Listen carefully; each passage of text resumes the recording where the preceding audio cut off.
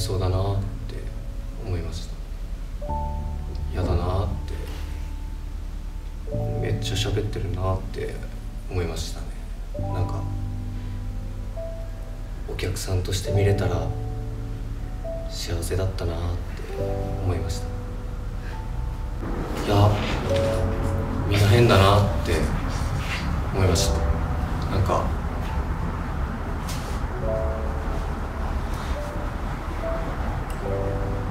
こういう台本って多分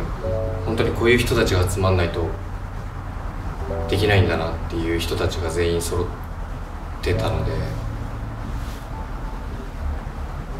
なんかこんな素晴らしいことはないなって毎日まだ1週間くらいですけど思ってます。クリスマスシーズン。いやデートとかいろんなとこ行きたいでしょうけどなんかこんなクリスマスもありなのかなって思いますし何かのきっかけがないとなかなか出会わない作品だったり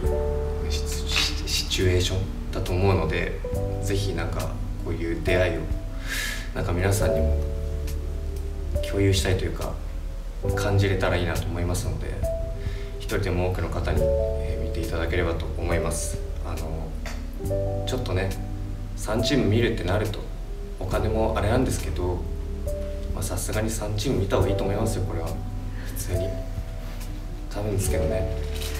で B はあのめっちゃ若いんでみんなちょっとこうフレッシュな感じでちょっと浮くと思うんですけどそれもまたね